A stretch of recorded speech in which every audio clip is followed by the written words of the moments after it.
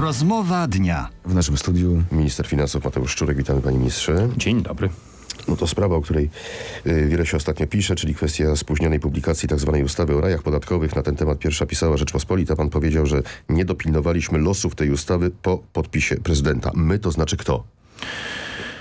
Na szczęście e, znaczenie finansowe tej ustawy jest niewielkie, a ponieważ e, poprawka poselska przyspieszy wejście jej w życie, to e, znaczenie opóźnienia będzie żadne i jestem pewien, że procedury w RCL-u, a także współdziałanie poszczególnych ministerstw spowodują czy zminimalizują ryzyko niepotrzebnych opóźnień w przyszłości. Ale to Rządowe Centrum Legislacji, Kancelaria Premiera, Minister Finansów. No, W każdej pracy legislacyjnej uczestniczy cały szereg instytucji. Ministerstwo, kancelaria, e, RCL, Sejm, Senat, pan prezydent e, i te wszys- praca wszystkich tych instytucji razem składa się na, e, na ustawę w końcu. I przecież opóźnienia czy długa praca nad, nad ustawą miały miejsce także w Sejmie, prawda? Więc to mm, tutaj musimy pamiętać o tym, że jest to, że żadna ustawa nie jest też dziełem jednej osoby czy jednej instytucji. pani premier zleciła stosowną kontrolę, z tego co wiemy. Oczywiście do z- y, dostarczyliśmy już wszystkie e, potrzebne informacje i jak mam nadzieję, że jak najszybciej e, wszystkie wątpliwości w tej sprawie będą wyjaśnione, także przez zewnętrzne instytucje. Podważa pan tę wartość y, strat? 3 miliardy złotych? Ależ oczywiście, że tak. Znaczy to ona jest zupełnie, nie, nie ma żadnego pokrycia w rzeczywistości, jest wymyślona e, od początku do końca. Od samego początku, e, w, również podczas prac sejmowych, zaznaczaliśmy, że e, nie, przy, nie uznajemy, tak, czy nie, nie bierzemy pod uwagę korzyści z tej ustawy w budżecie na 2015 rok.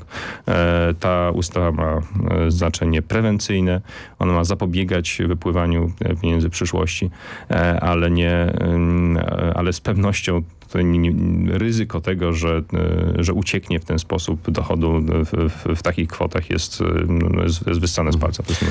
Teraz posłowie Platformy zgłosili stosowną poprawkę, tak żeby ta ustawa weszła od 1 stycznia 2015 roku. Rozumiem, że ma to polegać na skróceniu vacatio legis, tak? Tak. I ona będzie od 1 stycznia 2015 roku obowiązywała. Tak, e, jestem przekonany, że tak będzie. Tylko żeby nikt, znaczy, żeby nie zapomniano jej opublikować w stosownym momencie i terminie już po poprawkach. Yy, będzie pan dziś w Sejmie występował? E, Będę. Dzisiaj jest pierwsze czytanie ustawy budżetowej na 2015 rok. Która ze zmian systemowych yy, w ustawie budżetowej na przyszły rok będzie miała największy wpływ na dochody państwa? Na dochody państwa y, w największe, y, największe znaczenie ma y, jak zwykle VAT.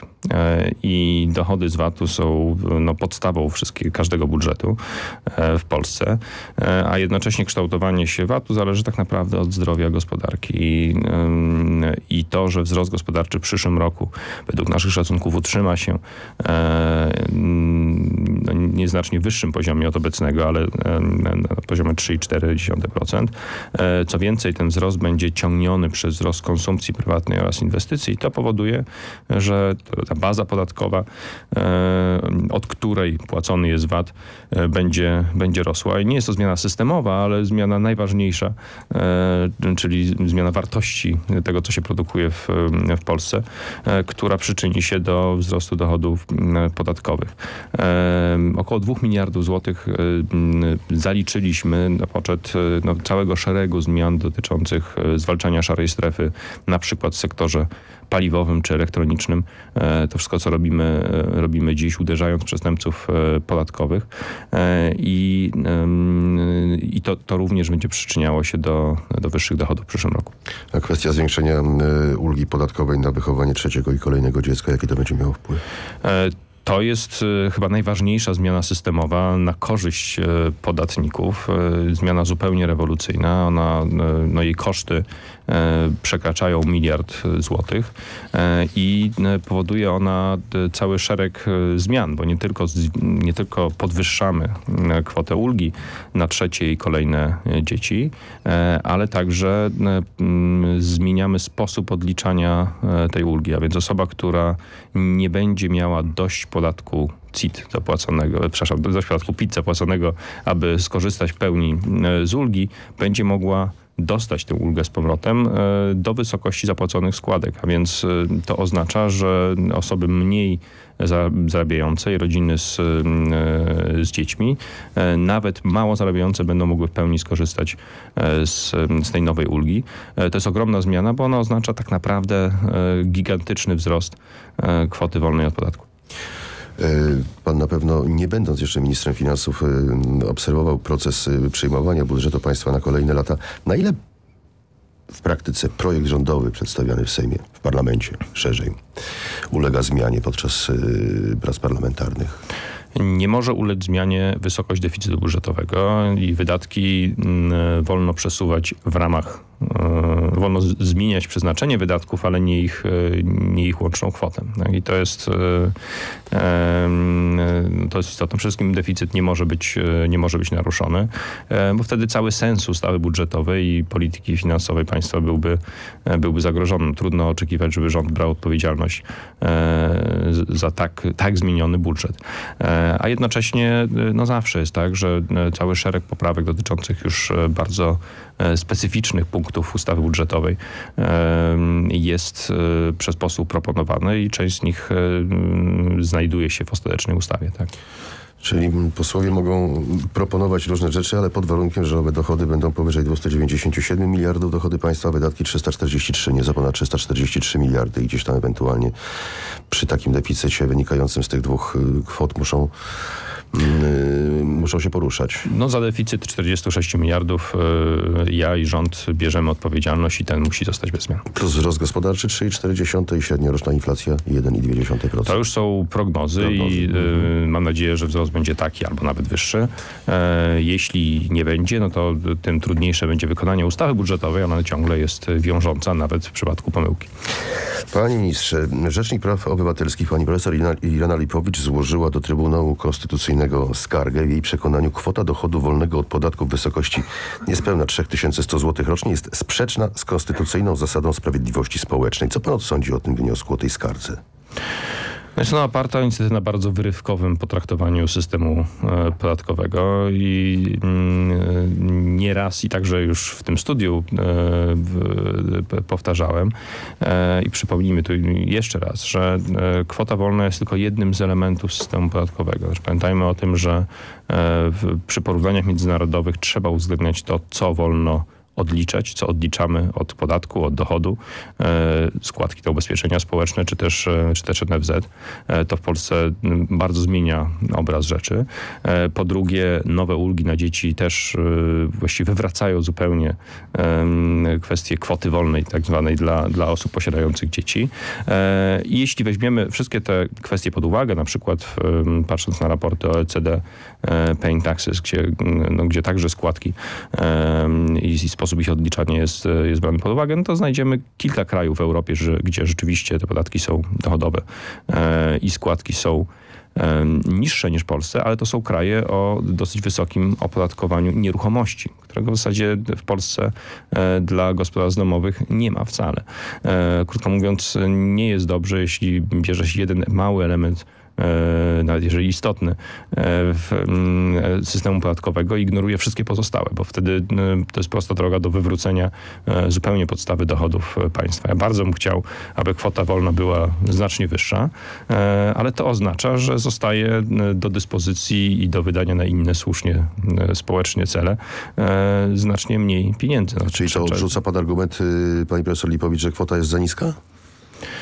Kwota jest dostosowana do e, naszego systemu podatkowego, po pierwsze, a po drugie do możliwości finansowych e, i potrzeb wydatkowych. Y, Kiedy została zamrożona na tym poziomie kwota wolna od podatku? 2007? E, No jak tylko procedura nadmiernego deficytu zostanie z Polski zdjęta, a ufam, że stanie się to w e, 2016 roku, po tym jak deficyt finansów publicznych zostanie obniżony poniżej 3% w przyszłym roku, e, no, zgodnie z zapowiedziami e, progi podatkowe będą uwalniane. Swoją drogą to ciekawe, co się stanie, jeśli Trybunał uzna rację pani profesor Lipowicz. Co prawda to nie Trybunał ustala wysokość kwoty wolnej od podatku, ale coś z tym trzeba będzie zrobić. Będzie kłopot? Będzie to bardzo rzeczywiście ciekawe. Y, Wczoraj zebrała się Rada Polityki Pieniężnej na dwudniowym posiedzeniu. Jakich decyzji pan oczekuje? E, Nie mamy zwyczaju komentować e, przyszłych decyzji, ani przeszłych e, polityki dotyczącej polityki pieniężnej, e, ale e, no, kibicujemy na każdym kroku Radzie Polityki Pieniężnej Narodowemu Bankowi Polskiemu, e, w, jeśli chodzi o wypełnienie celu inflacyjnego. Cel inflacyjny to 2,5%, e, inflacja to minus 0,3% e, i e, no, na pewno z punktu widzenia budżetu oraz możliwości dostosowawczych gospodarki zdrowie jest, kiedy cel inflacyjny jest wykonywany. No ale jednak spodziewa się pan obniżki stóp procentowych. Ja wiem, że pan powiedział przed chwilą, że nie komentuje W decyzji. ustawie budżetowej zakładamy obniżki stóp procentowych o 50 punktów bazowych e, do końca tego roku. Myśli pan, że to się stanie jednorazowo, czy na kolejnym posiedzeniu tak po ćwierć?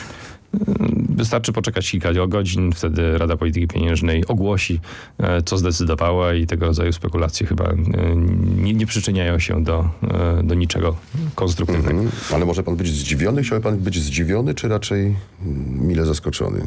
Nie mile zdziwiony. Traktujemy politykę pieniężną e, jako, e, jako sprawę zewnętrzną. Tak? I w ramach współpracy z Narodowym Bankiem Polskim e, staramy się na każdym kroku, aby wymiana informacji, współdziałanie było no, na najwyższym poziomie dopuszczalnym przez, przez niezależność, e, ale, e, ale jednocześnie e, no, autonomia tych decyzji zarówno naszych po stronie fiskalnej, jak i po stronie monetarnej, jeśli chodzi o wysokość stóp procentowych, pozostaje nienaruszona. Na koniec jeszcze jedna kwestia. Międzynarodowy Fundusz Walutowy oszacował wzrost gospodarczy Polski w tym roku na poziomie 3,2%. W czerwcu prognozował 3,3%. To jest wciąż ponad 3. Czy na tle krajów unijnych to jest dużo? To jest y, mniej więcej cztery razy więcej niż y, przeciętnie w Unii Europejskiej. Tak? No jest, to, jest to ciągle bardzo, bardzo dużo. Wzrost gospodarczy w ciągu e, tych siedmiu lat kryzysu do 13 roku wyniósł 20% ponad. Przy stagnacji w, przeciętnie.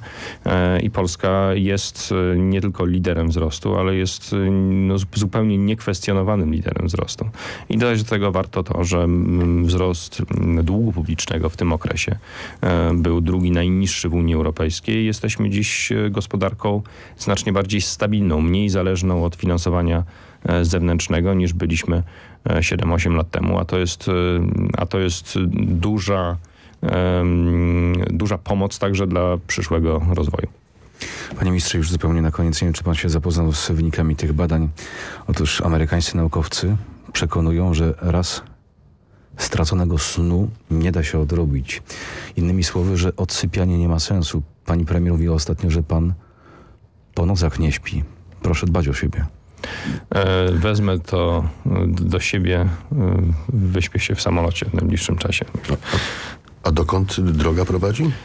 Do Waszyngtonu na doroczne spotkanie Międzynarodowego Funduszu Walutowego, właśnie, ile tam? a później do Luksemburga na spotkanie ECOFIN. A do Waszyngtonu ile się leci? No, Kilka godzin. kilka godzin. No to kilka godzin snu. Kurs dolara wysoki jest, panie ministrze, ponad 3 zł 30 groszy.